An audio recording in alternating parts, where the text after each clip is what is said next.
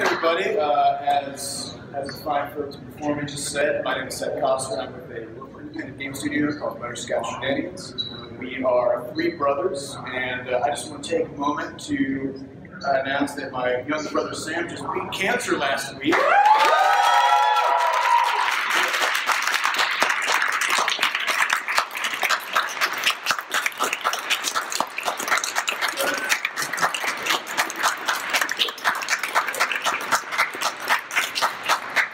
Yes, it's been a, it's been a slow two years.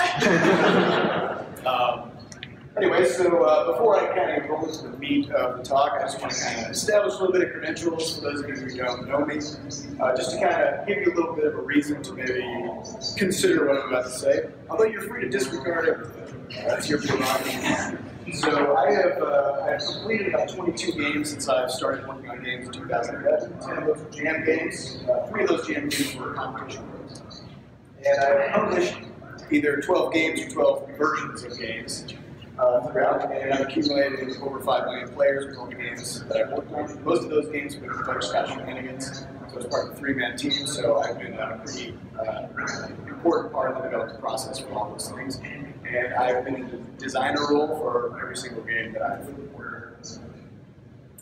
Uh, and our next game coming up is called Crashlands. For those of you guys who haven't heard of it, it's a crazy, huge, uh, open world action crafting adventure game, story driven. Uh, probably about 60 or more hours of content we're looking at, and we're launching on January 21st on PC, Mac, iOS, and Android. And uh, we've also had the challenge with this game of doing cross-platform support, because we're doing the same game on all four platforms, and you can move your save from one device to the next. So that's been kind of an interesting technical challenge. Uh, that's that's where we are as a studio right now, doing games on that platform. And, well, final disclaimer, I don't know what I'm doing.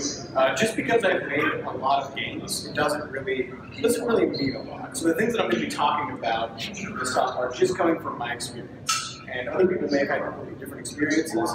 Other people may be working on completely different games or game types.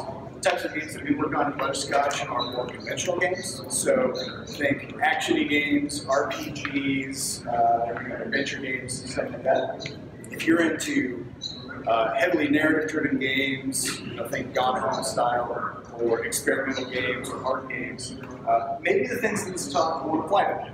And that's okay. Um, you know, games are it's a pretty broad field, so I just don't want you guys to think that I'm like, sweeping those things under the rug, and I'm just talking from my own experience.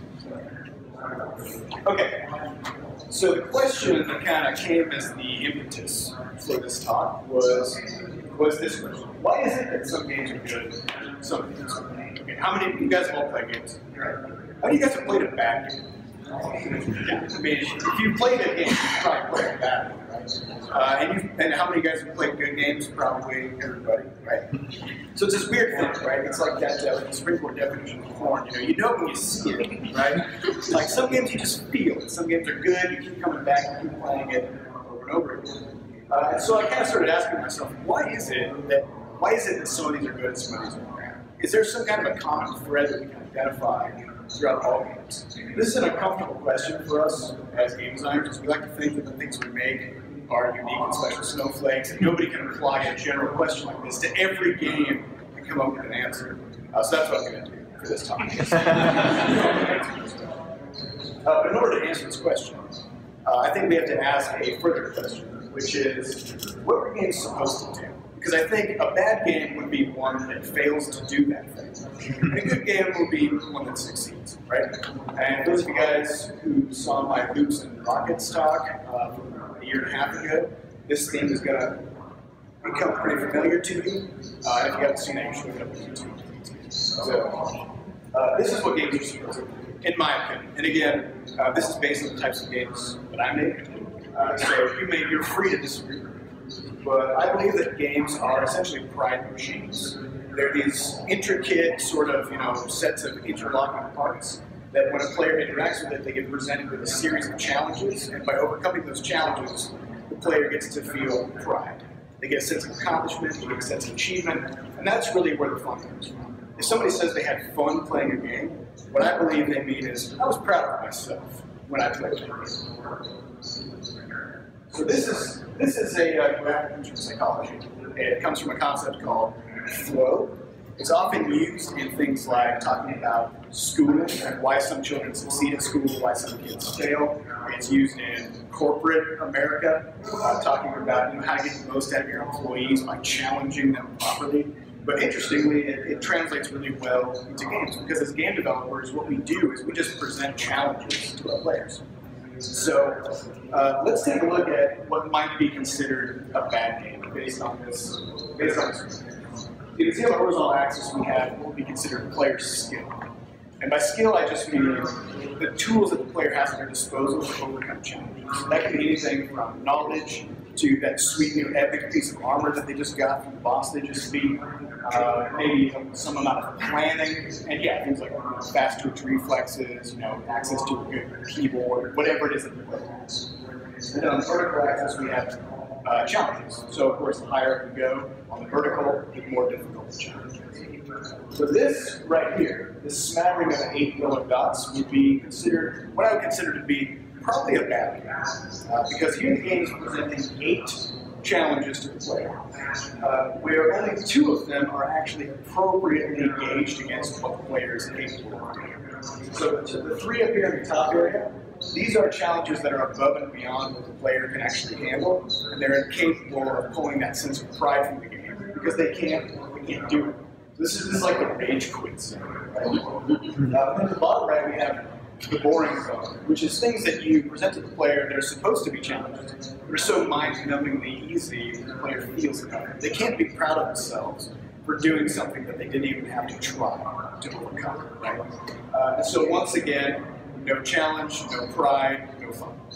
Really have two things in this game that are actually sort of worth interacting with from the player's perspective. This is a game that they're going to shut off. The cool thing about games is we make them up. Like they're completely imaginary. They don't even really exist. So, uh, so we, as the designer, we put all eight of these dots on exactly where they are. We decided that it was going to look like this, which also means we get to make a decision to put them on. Everything in the game is completely malleable. It's like block and play. You, can shake parts off, you can put stuff on, you can move things around. You can change it however you want, right? This is what we call balancing is moving those dots, you know, adjusting the challenges so that the player feels really good about themselves because they're able to overcome challenges And so this is the definition that I'm going to work off of the talk. Uh, balancing is adjusting any element of the game to allow the player to gain a sense of pride from your accuracy. This is crucial. Uh, how many guys, how many guys are game developers or even just started making games? Okay, now how many of you guys, who just raise your hands, have worked on a bad game? Everybody's hand should still be up. I mean, if you've made a game, you've made a bad game. Um, that's just, um, but that's okay, because I believe there's no such thing as an irreparably bad game. A bad game is simply a game that hasn't been balanced properly. It's just suffering from balance problems. Either it's too hard or it's too boring and the player doesn't have fun while playing. That's what makes it a bad game, right? Uh, so all we have to do is learn how to think about balance, think about every aspect of the game through the lens of balance, and it simplifies things tremendously. And then we can turn a bad game into a good game. I'm sure some of you guys have played games that over time, through series of patches or something, became better. Uh, which to me that's also also it's just from the.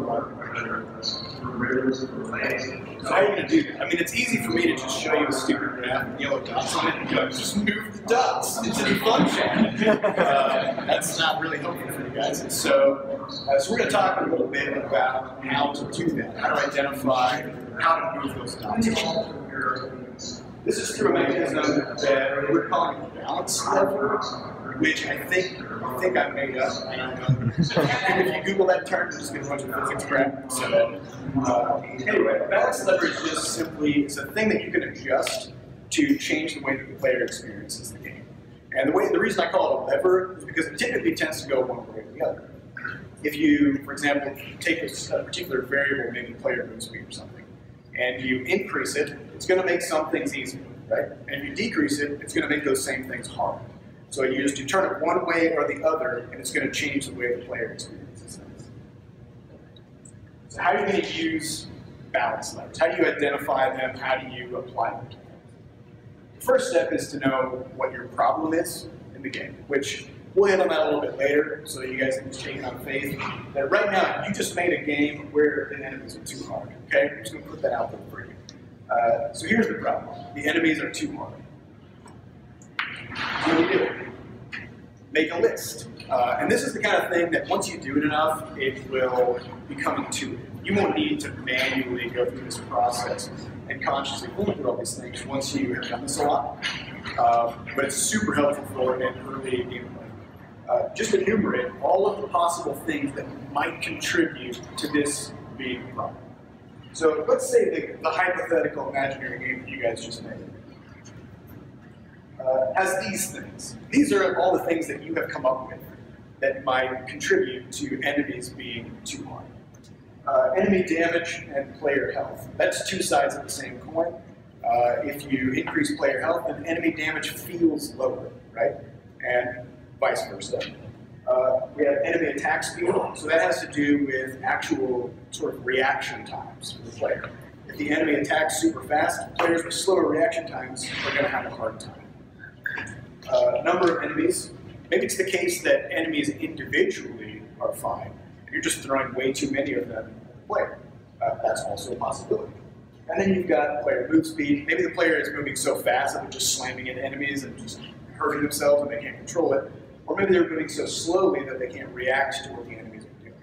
Either way, it's up to you to kind of make the call. Uh, so what do you do now? So you've listed all these things.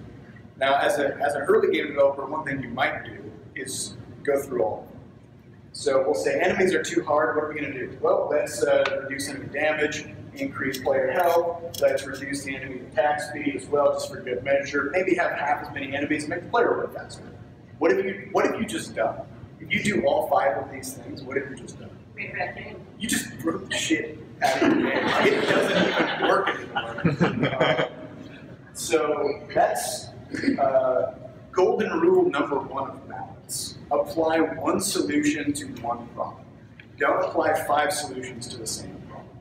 Try to find something that will fix it, tweak that one thing, and just kind of see what happens. Uh, so my point here is uh, think through the implications of adjusting each of these elements in isolation. In isolation is the key aspect of this. Um, and also, it kind of depends on what you want to go for with game feel. So if you have a game that has a lot to do with, say, like grinding to get better armor and weapons or something like that, and it's all stats based, maybe like a turn based RPG or something, um, then enemy damage, player HP, those are really important because that kind of jives with the feel of your game. If you want a fast twitch, skill based game, maybe increasing player speed is what you want. Because then it depends on the player to react to things. So once you've thought through these things, um, it's up to you as the designer to try to figure out which one sort of jives with your vision of the game and change that one thing. I'm serious, just the one thing. Don't touch anything else. Uh, tweak it, play it, see how it feels, and see if you're, see if you're solving. And if not, maybe just tweak that same thing. All right, so that's how you deal with sort of small things. So as you were kind of looking at that uh, graph with you know, little yellow dots on it, this is how you deal with sort of individual small problems. Uh, but it's it's would be kind of naive for me to say that any problem in a game is just kind of an isolated thing because a game's a really complicated ecosystem. There's a whole bunch of stuff happening, just about anything can affect what the player's doing or thinking at any given time, right? So this is what uh, we're going to call the balanced ecosystem. This is all the things in the game that are sort of global across the whole game that might actually dampen the player's experience or improve the player's experience. Uh, so what I would kind of, way I would kind of approach these is, let's, let's just take a look at the graph. graph. All right, so let's say you have this situation. You've got these, what is this, five, five core elements, five core challenges in your game. And they're all just a bit too frustrating, okay? And you're early in development, so you haven't really finished a lot of stuff in your game. Maybe you don't have a tutorial, or your UI is kind of weird. uh, and whatever. But you put the hands of players, and universally your players are just a bit kind of frustrated. Things are just too hard in this game. So what you could do is individually go in, find the balance levers for each of these dots, and shift the whole thing over. Okay? Um, you could do that. But then when you go through and you start finishing the game, and you polish it up, and you add sounds, and you add music, you add all this other stuff, what you might find is that the dots have moved again. Everything has moved. Uh, that's because you're, you're now starting to, to play around with global systems that affect the entire game as a whole. And that's going to actually affect where all of these challenges lie. So I'm going to kind of, just to kind of illustrate how this works, we're going to go through just a couple of examples of things that are going, that will actually affect game balance that you would probably never think of as being core aspects of game balance. All right, field of view. So this is just, to put it more simply, how far in the camera is zoomed. This can actually dramatically affect the balance of your game. Uh, so here at the top we have a slow-paced puzzle game called And Yet It Moves. Uh, in this game, you kind of just slowly traipse along and you jump. It's like this really slow plotting thing, and gravity's very low. And you play the game by rotating the world around your character. You just try to find the exit to different. Uh, very slow. On the bottom, we have Super Meat Boy, which is uh, probably one of the faster, if not fastest, action platformers out there. In each level takes a matter of 10 seconds, and you die 400 times time. Uh, notice how big the characters are in each of these. You know, the one we've got, whatever that paper guy, I don't know his name is, he's, uh, he's a, a, full fifth of the vertical space of the camera. And Meat Boy is only 3%. This allows Super Meat Boy to move really, really fast. Because you can, as a player, you can just see a lot more stuff. You can see things flying in off screen, you can see obstacles coming, and it just allows the gameplay to be super, super fast. So imagine trying to play Super Meat Boy zoomed in as far as any of moves is. That's a really hard game, honestly. Probably impossible. Uh, and since balance is really all about just player skill versus difficulty and the challenge, you haven't really affected the challenge too much, but you've inadvertently made the player really bad at the game because they can't see anything, right? So you've created a balance problem by zooming in your camera too far. Uh, so we oftentimes I get questions from people about how many pixels tall their character should be in platformers. And the question that I should respond with is how how tall is your view? Because it all depends on how fast things moving. Uh, pixels are irrelevant. What matters is the percentage of the screen space that the character artwork. How many of you guys are artists? So what you guys do can break the game or make it awesome, right? Uh, you know, as artists often get kind of, uh, you know, they, they, they are often sort of on the sides of design discussions and stuff like that. They're just supposed to make things look pretty. Uh, but it's actually the case that artists are integral in making sure that the game is properly. So here we have in Crashlands, which is going to be on January 21st on PC Mac This is a Würzburg Schurke attacking the character. Uh, and all the creatures in Crashlands broadcast this red telegraph on the ground. So we have all these different shapes of attack patterns that the, that the enemies are about to do to hurt you. And it's your job to not be standing in that thing when the attack lands. it's a pretty simple system. It's easy to understand. Um, but what happens if we change the environment? Yeah, that sucks, right? now we have red enemies shooting red projectiles at you on reddish orange ground with red telegraphs telling you where the uh, damage is So these Vomma creatures that are vomiting artillery tadpoles at you uh, are going to be much more difficult only because you can't see them. And if we went ahead and, and uh, you know, sort of were like, okay, Vommas are too hard, people are complaining about how hard these enemies are, if we went in and kept adjusting these enemies independently without fixing the art problem that we have, which is things are the wrong color, uh, if we didn't fix that, then by the time we do get around to fixing the art thing, our Vommas are broken. So uh, it's important to you know, make sure that your art is where you want it before you start making changes based on things like this. User interface. I don't know what. Uh, I just googled bad game interface. I think it's transport typing. I, I think it's possible. um, so the user interface is something, it's a tool that the player uses to interact with. If you give the player a bad tool, then you make the player bad at doing things. It's, it's a pretty straightforward one-to-one relationship. Um, and so when you think about that graph, right, where you have challenge on one and player skill on the other, by putting together a really confusing and hard to understand interface, you are reducing player skill for every challenge that they face. Things may take longer to just even understand. They may not even be able to figure out what a challenge is or how to deal with it. And so you're just making everything way harder. So once again, uh, by putting together a really clunky, awkward interface, you've created a balance problem. Your game is too hard. When you get around to fixing the interface, all those balance changes you made independently on the way are now going to be totally out So fix your interface first uh, before you go ahead and fix other balance problems that might be connected to. Oh, a nice golden rule for interface stuff is try to show the player only what they need to know when they need to know it. No more, no less. I don't know. I don't know if that's the case on this. Uh, tutorials kind of goes in the same line as interfaces. Uh, this is a Elite Dangerous. I just picked that up on Steam. Their tutorial section it, it links you to a series of YouTube videos of the developers playing the game and telling you how it works. Worst ever. Um, so tutorials give the player the tools that they need in order to deal with the challenges that your game is going to if you don't teach the player what to do, the game is way hard for absolutely no reason. Um, and on the flip side, if you if you have a tutorial but that teaches things incorrectly, that's even worse. um, so it becomes a it becomes a weird challenge where if you put your game in the hands of a player, and you say, okay, so I haven't haven't done tutorial yet, but here's what you do, and you try to just kind of like walk them through it or something.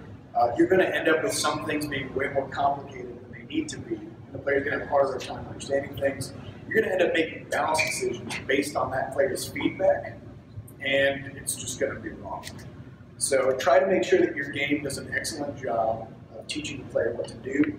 Uh, introduce game mechanics one at a time if you can, and just keep things on a good pace. Juice, feedback. This is from a game called Road Force. Character's gun, leg is a gun, I think. I think that's, I don't know, hope. I hope, I hope that's what's happening, yeah. Um, okay, so I want you guys to use your imaginations. And imagine you are playing a shooter game where uh, you aim your weapon at an enemy and you click on the mouse, which is of course the fire button. And there is no muzzle flash, there's no recoil, there's no sound effect, there's no screen flash, you don't see a bullet impact, but the enemy falls over. Okay? Did you do that? Was that you? you don't know, right? Uh, juice is really, really important in making sure that the player understands the consequences of their actions. It makes it really difficult for the player to extract that sense of pride for the things that they've done if they don't even know that they were the one that did it. Okay? Uh, so by not having this, you know, high level of feedback in the game, these cool, you know, particle effects. And you can even implement some simple things just so that there's enough that the player kind of gets a sense of what they're doing. Uh, but without these things, the player can't take ownership of their actions, and it makes them feel internally, it makes them feel worse at the game than they actually are, because they don't even know whether or not they're making a difference. Uh, so this is this really bothers me. Sometimes companies who are working on a game will say, "Oh, we've just entered the polish stage."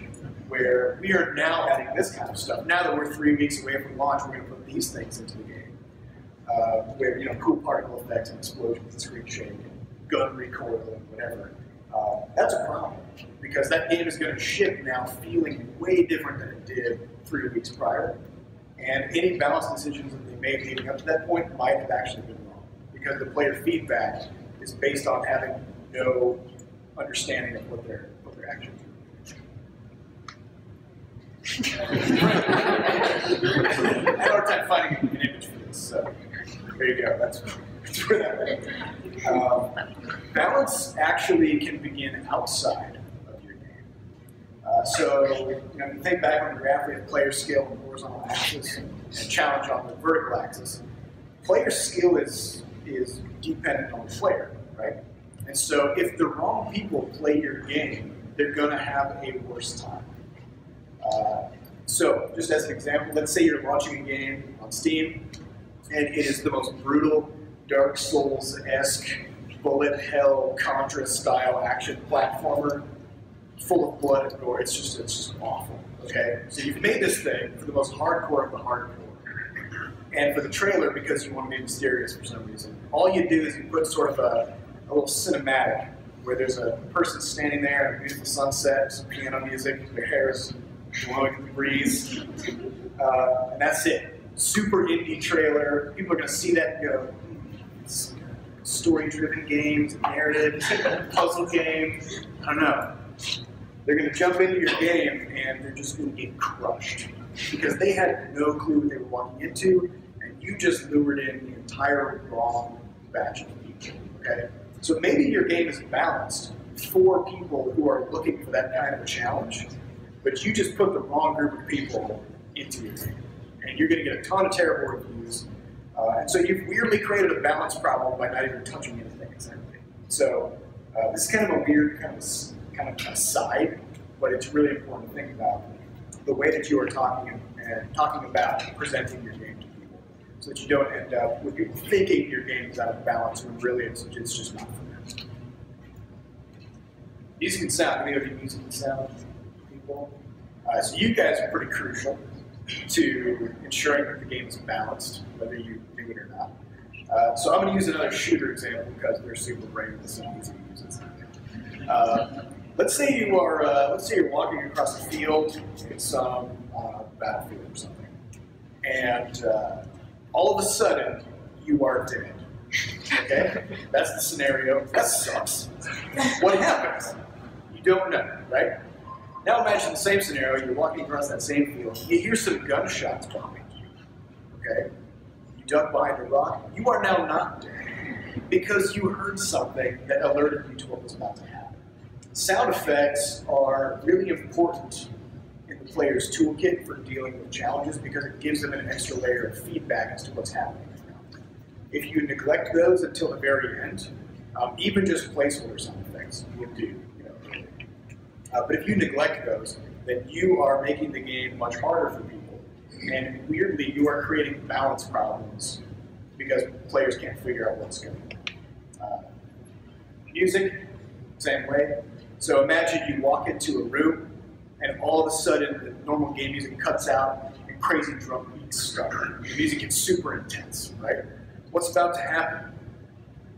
Something important, right? I mean, about to probably get the crap kicked out of you, but you know, you know that that's coming. Maybe you can pop up in your inventory and equip a grenade, or you know, whatever, whatever it is that you do in the situation. Uh, but if instead you walk into that room and just without warning, something crazy just burst through the wall and started kicking the crap out of you, you wouldn't have had a moment to prepare and you would feel like that was unfair. So just by having two seconds of a music change, you can put the player into a better frame of mind to deal with the challenge that's coming. In, a, in kind of a weird, roundabout way, you've actually increased the player's skill level for dealing with that challenge, just by giving them a little bit of advantage. Okay, so that's all. There's a whole bunch more than that, um, but I think the, the core message that I want to get across with this is every single system in the game can affect balance. And by balance, I just, of course, I just mean how the player's perceived skill matches with perceived challenge that the game is presented to them. So as you are making decisions about how hard enemies should hit, how things should behave in the game, be sure that, that these types of game systems are working closely to where you want them to be before you start making fine changes. So by the time you get around to actually hooking these things up, adding a tutorial, putting music in, getting sound effects, it's just going to change the whole game experience, and you're going to redo all those small balance changes that you did earlier. All right, let's say you've got a balance problem, and you've gone through all your balance levers, you've tweaked a whole bunch of things, you keep putting it in the hands of players, it just doesn't work. Nothing you do makes this thing better. Uh, and so you think, maybe I have an ecosystem problem. So you fix your UI, you add a tutorial, you try to explain better, make things more clear, give it some feedback, give it some juice. It still sucks. Okay? this, this happens.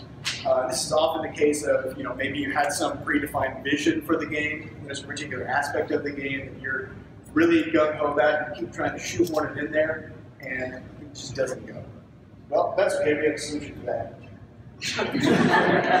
Give up. Um, just ditch that aspect. It's okay.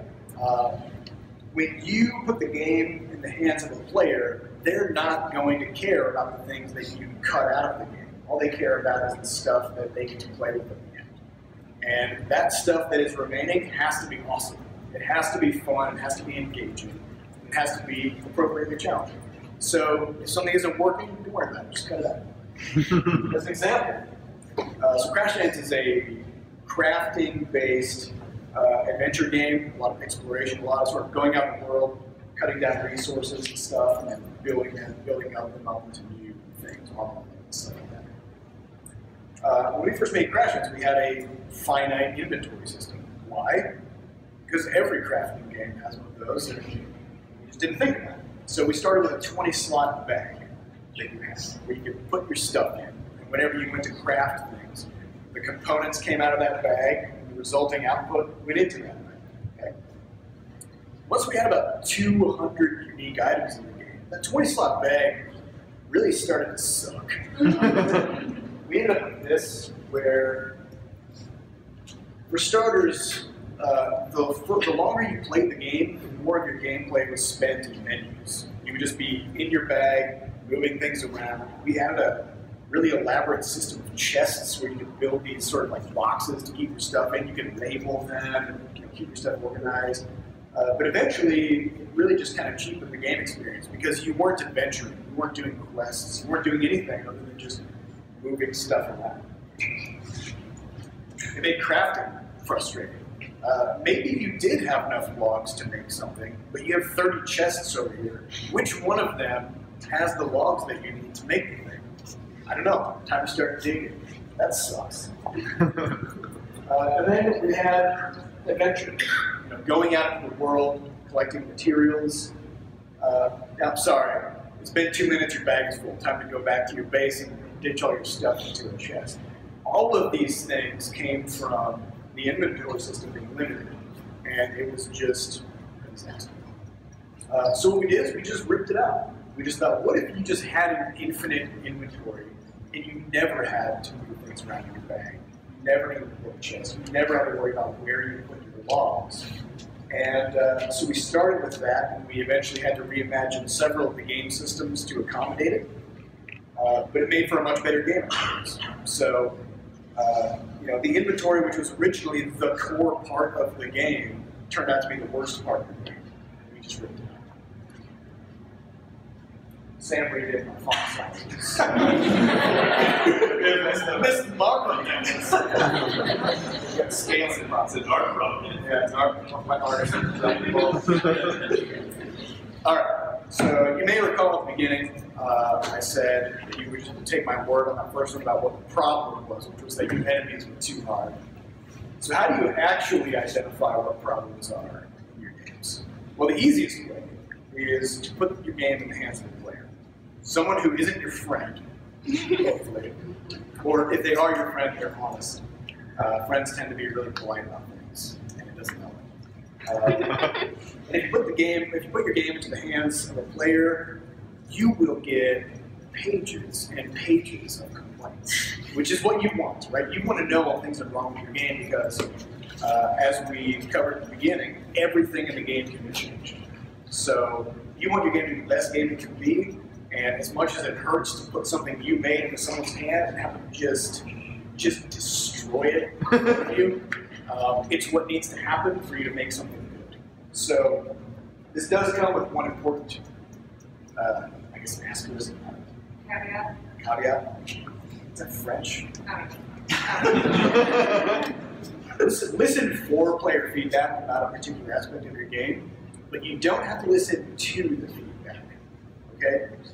Uh, that's because players are really, really good at one thing, which is miswanting. This is a this is a psychological phenomenon. And actually, I, I should I should single out players of games. Human beings in general are super good at this particular thing, which is the act or condition of wanting something with the mistaken belief that it will bring one happiness. Uh, as Garry Newman, the creator of Garry's Mod, and Rust puts it, players are useful at conveying a mood and a feeling they're not game designers. Their ideas generally involve making it so they can win at the game. uh, and, and if you, you know, plot out a player's balanced suggestions on that graph, almost all of them will land in boring. They want to one-shot everything. They want to have God. They want free of every resource. They want infinite everything. And they will be done with that game in one and a half minutes. That's super boring for them, but they, they think they won. Because as a game designer, it's our job to throw challenges in front of the player, which is another way of saying it's our job to, to throw sort of obstacles in their way. It's our job to make them miserable, right? like we put stuff in their way that they hate, and then they beat the crap out of it, and then they feel great about it, right? Uh, and so it's your job to know your players better than they know themselves. And when they ask for things to be easier, you need to know when to say no. Here's a great example. Uh, this game called Borderlands yeah. by Gearbox. And there's a place in Borderlands called Skag Gully. It's a gully filled with skags. skags are kind of these weird alien dogs. You can see one over there on the side. Uh, when they entered beta with Borderlands, they got this one point of feedback about skag from many, many people. There's too many skags. skag which, you know, it's kind of a point of scalability, right? um, but this just came up time and time again. And so the guys at Gearbox had potentially a balance problem on their hands, right? So what do you do? Well, let's see what we can, let's see what levers we can tweak to maybe address this particular balance problem. Our players are complaining about it, it's a problem. I guess we could reduce the number of skags, right? I mean, that's, that's a complaint in the form of a suggestion. There are too many skags. Suggestion, re reduce the number of skags. uh, you can also increase player move speed. This is going to mess with your ecosystem, right? That's going to propagate across the whole game. If it's just a skag gully problem, why make the player move faster? You know, maybe maybe they'll be able to more easily get away from the skags and skag gully, and therefore the skags will be a problem. But now the player is moving fast everywhere this changes everything. So that's uh, ideal. Reduce the health and or damage of skags. Maybe there's not too many skags. Maybe each skag is just too much of a hassle to deal with. So what if we just made skags a little bit easier? Once again, though, skags are present everywhere. So this is a big sweeping change that's going to break everything in the game. And it's, you know, maybe it'll fix skag gulling, but now you got to go back and rework everything else. Uh, so what they settled on was dealing with the number of skags, the skag So they tripled. this is one of my favorite games anecdotes from listening to player feedback. And the complaints stopped, which was awesome. It was, and it's not like a mafia-esque, like every time you guys complain about skags, you get skags. Uh, it was, it was a framing problem every time the players would go into Skag Gully, there were actually so few Skags. Players spent most of their time just walking unimpeded through the zone. And players perceived the area as a simple pass-through travel zone. Maybe 10% of the time, Skag would run up and they would have to deal with that, and it was just annoying. Uh, so by tripling the number of Skags and redoing the distribution of Skags, Gearbox made it so that as soon as you set foot in a Skag Gully, you know you're in Skagville. you are battling Skags nonstop from the moment you set foot in there to the moment you get to the other side. And suddenly it didn't feel like there were too many Skags because the whole point of going into Skag Gully in the player's mind became to fight a lot of Skags. And now it's fine. Right? Don't bounce much.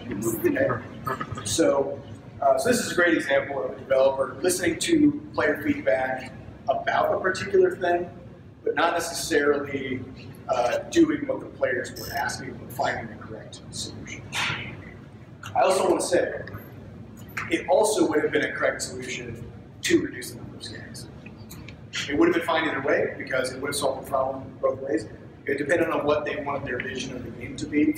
Borderlands is a game about shooting lots of stuff. So which, which, one would have been probably better? Probably having more things to shoot would have been the appropriate. Right? At the same time, reducing the number of skags probably would also solved All right, so what did you do?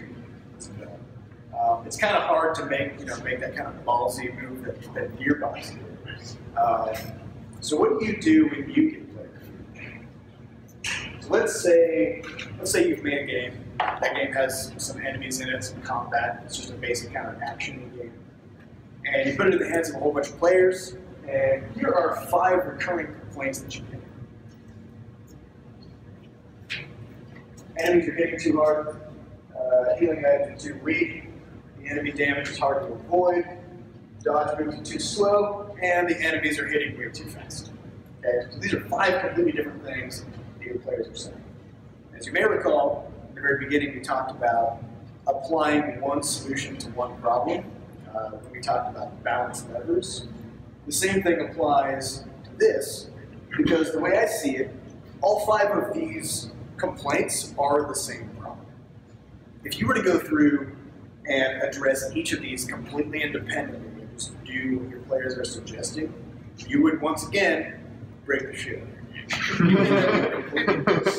okay? Reduce enemy damage, buff healing items, make enemy damage easy to avoid, buff dodging, slow down enemy attacks, you just ruin it. So try to consolidate your feedback. that, that's the best piece of advice I can give when you're getting player feedback, uh, because now you have a singular problem, and once you figure out the balance levers associated with that, you can tweak one of them, and the problem is solved. So even though this is a, a problem, which is that players are frustrated with fighting enemies, something about enemies is too hard. It could be any one of these five things. Or maybe it's none of them and you're making Dark Souls, and that's fine. it's up to you. Uh, yeah, so just consolidate complaints into similar categories of problems and address those problems one at a time with one solution at a time. Okay, so this is what I'm going to end on, which is there's no such thing as uh, a game that is great for everyone. There's no such thing as a game that's even good for everyone. If you have a game where 10% of your player base hates it, that's awesome. Like, you're doing great. because it's just not for everyone. You know, every player is completely unique, and although you can do a lot of things to empower the player to meet the challenges that your game provides, it's still up to them. You know, a game is a meeting between the player and the game, and they have to bring something to the table as well, and not everybody brings the same thing. So you can try to avoid that kind of problem, you know, with your framing and your marketing and stuff like that, the way that you talk about it, try to make sure that the right people are playing the game. But at the end of the day, you can only do so much. So uh, don't be heartbroken if you make a game that you're super proud of, that a lot of people are really excited about, and still there's a group of people who hate it. That's fine. I mean, people hate all kinds of things. It doesn't matter. Um, so yeah, that's it. Um, and I'll just throw on here a quick recap of everything. I'm not going to read through or anything, uh, but I just wanted to open up for Q&A. And I'll put these on screen so those of you who are kind of taking notes or whatever, you can uh, just get these things down. Okay, that's it.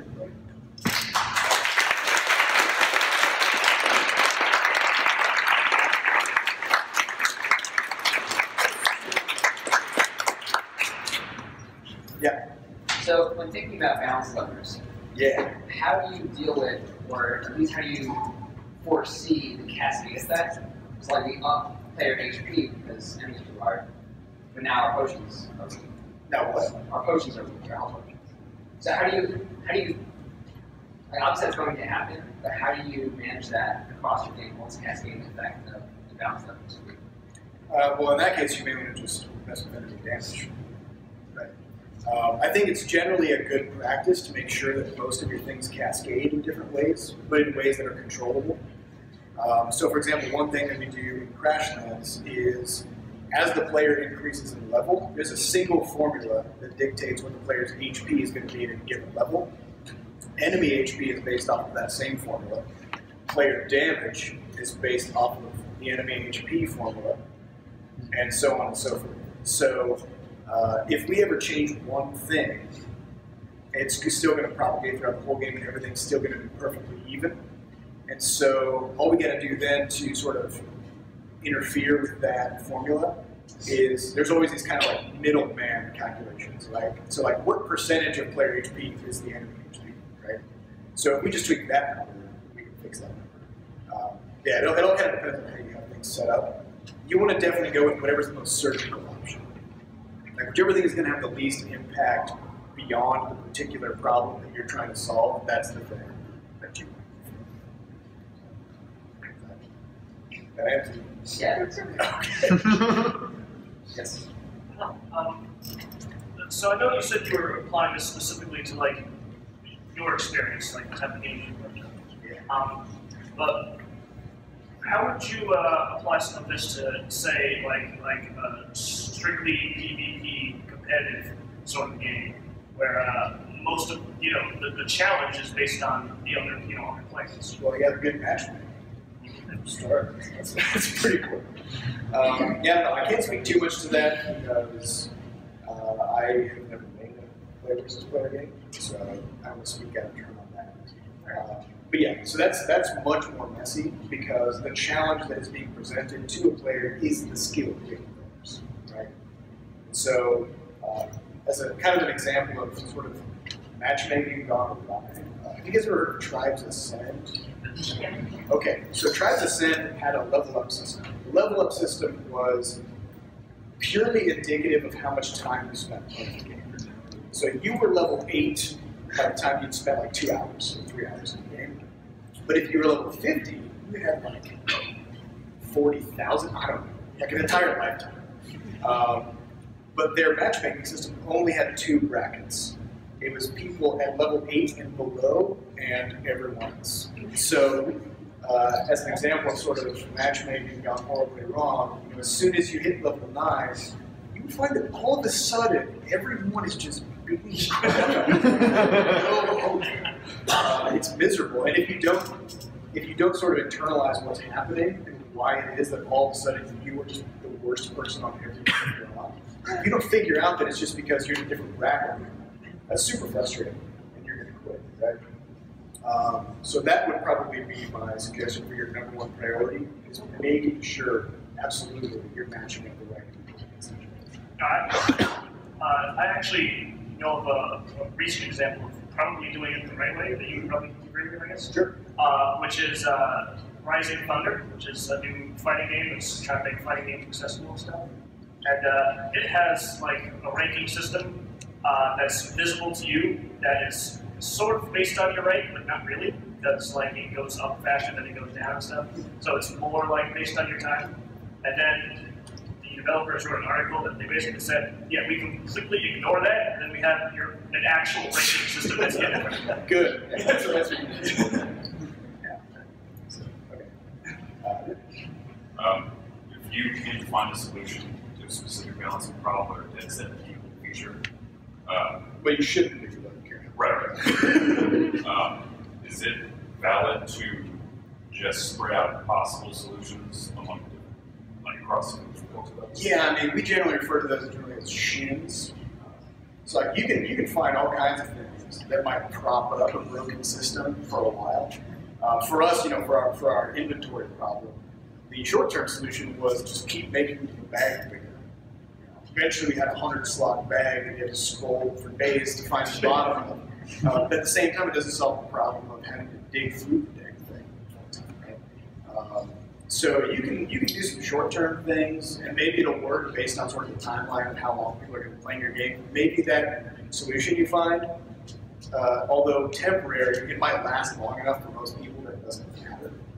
Um, but yeah, if you do have something that's a really big problem it's important to ask yourself why that thing is there and whether it really has to be.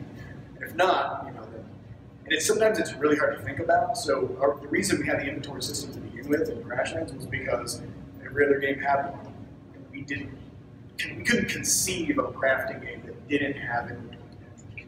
Uh, and it took a whole year of development before we were like, wait a minute, this is just awful. Uh, so try to think outside the box.